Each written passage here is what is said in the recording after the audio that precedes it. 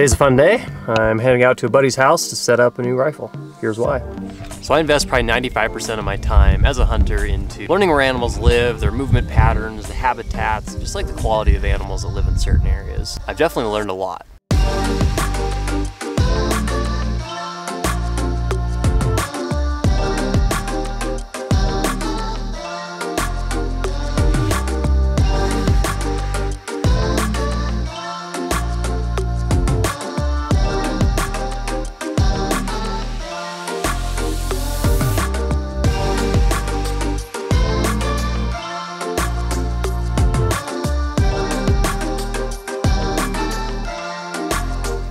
But I only spend about 5% of my time becoming super proficient with the rifle. And the result has been many blown opportunities or animals just out of range.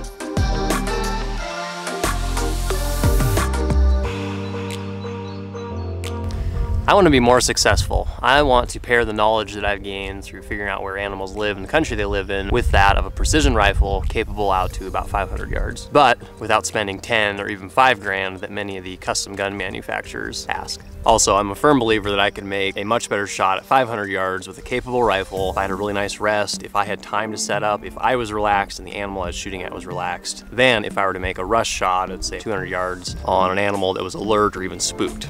So 10 years ago, my grandpa GR gave me his 7mm Remington mag. It's like a 50 year old rifle, really awesome rifle, and it's done me so good over the years.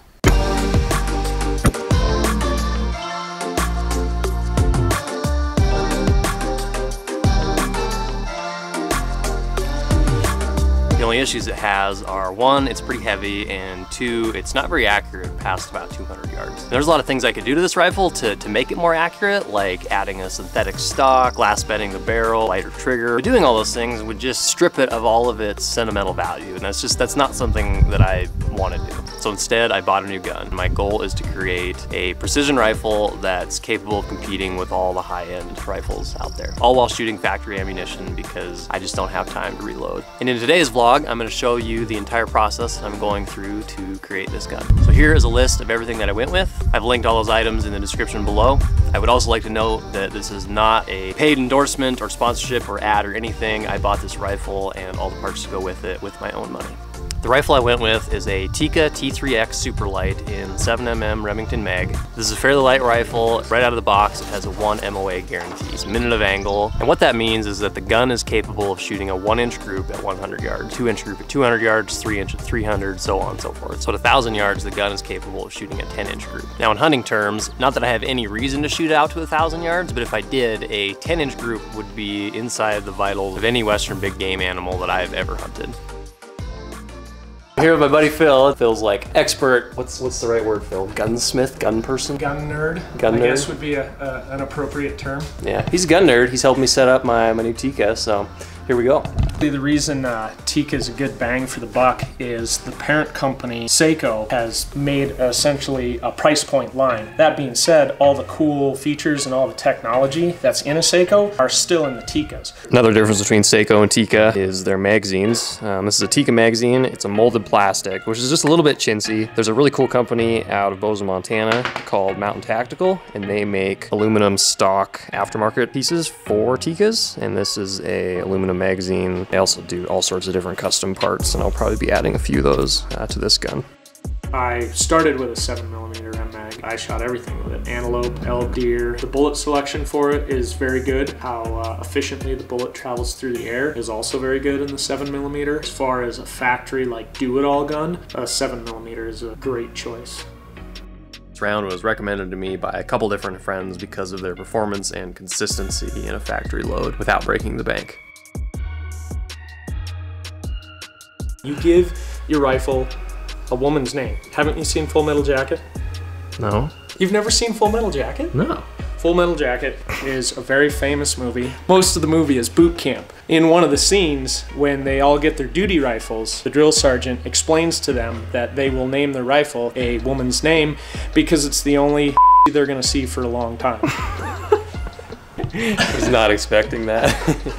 I don't know if I can include that. The Tikka come with this stock dovetail. This is where the rings would clamp on. A better system is to put a pick rail like this from Mountain Tactical on there. A couple reasons you want to do this. The dovetail works, but things can slide on it if it gets bumped really hard. This pins into the top of it. So once you have it all screwed down, the chances of it moving are slim to none. If you're gonna spend money anywhere, spend money on the connection between your scope and your rifle. Buy high-end rings, buy a high-end base, because if you have a high-end scope and a high-end rifle, but the connection between the two is junk, then you're gonna get a junk result. It's kind of garbage in, garbage out.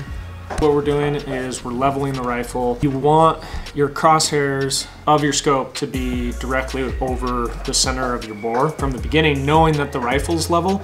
Then when we set the scope up, we'll be able to level the crosshairs and then we'll put a another level on there so we can identify when we're level in the field.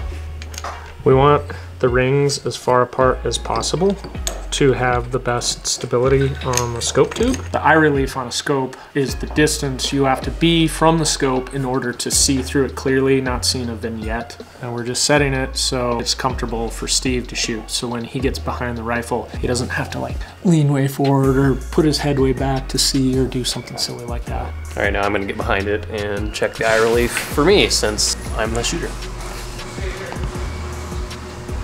So you need a level to know if you're shooting straight or not if you're on a side hill. Even if you think you're level, but the terrain, the way it looks, makes you tip it one way or the other and you have to shoot a really long way, it's gonna either make your bullet impact left or right, depending on which direction you're tilting everything.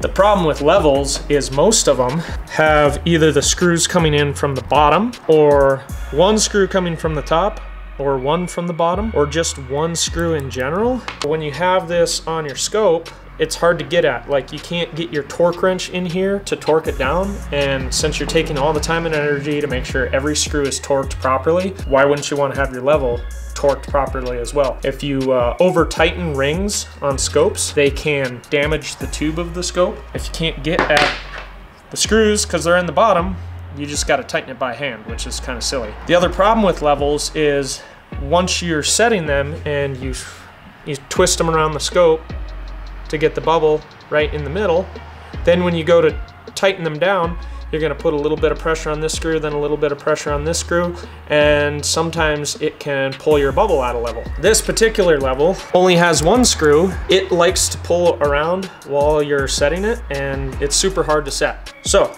voila, we have a solution. This is the uh, rapid level.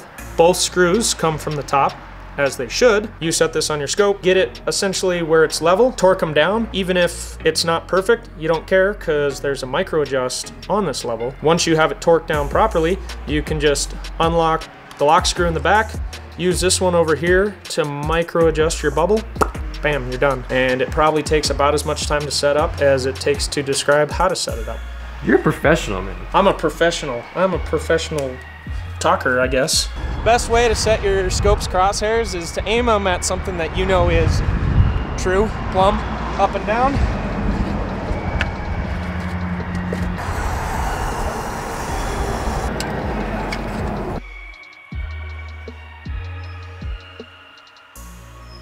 Shooting well is all about consistency.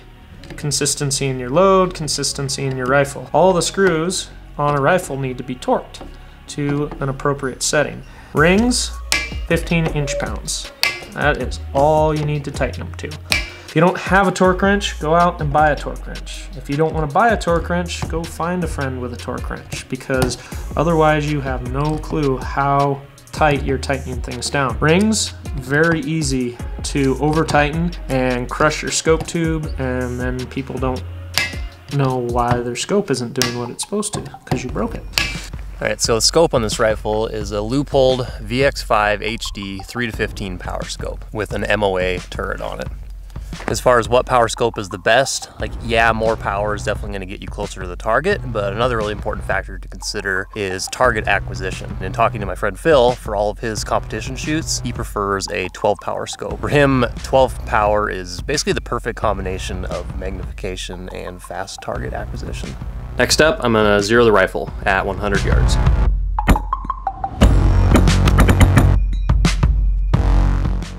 Okay, next up, I'm gonna jump on the computer and go into Hornady's ballistic calculator. I've included a link in the description. I'll go in and I'll input the various parameters here, um, all of which you can find either on the box ammunition or on Hornady's website, just under the, under the ammunition page. And then I will go to calculate, and this is gonna spit out a ballistics calculation, and then I will print this.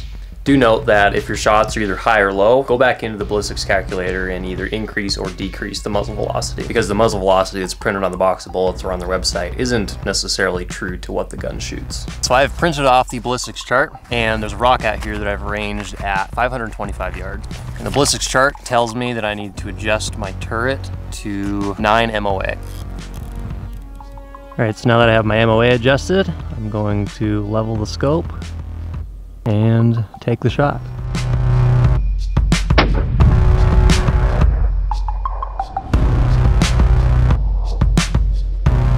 Got him. And it's that easy. I'll be taking a few more shots at some different ranges just to make sure everything's dialed in, but uh, I think she's good to go. All right, that is a wrap for today. So I hope this vlog really helped some people out and made the process of setting up a new gun easier to understand. Please like this video if you liked it, and if you want to see more, subscribe. That would help me out a ton. We'll see you next time. Did you? Did it, did it. Did. Shut up. My name too. It's my dog, Aldo. Hey, Aldo.